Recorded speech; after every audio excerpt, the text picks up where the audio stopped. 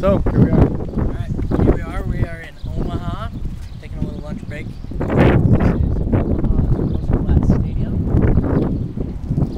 Just a little history on what it is to. Home of the College World Series. That's all that matters. There you go. And so we're here. We're just gonna take a couple pictures. College World Series? Yeah, College World Series. And then we're just gonna. Did I say that? Okay. Before you said Little League. No, I meant college. No? I actually, do you know, I think Little League might be here too. I don't know. Anyway, um, so we're just gonna cruise around, take some videos, take some pictures, and then we have an appointment in 20 minutes. So we're gonna be back on the road.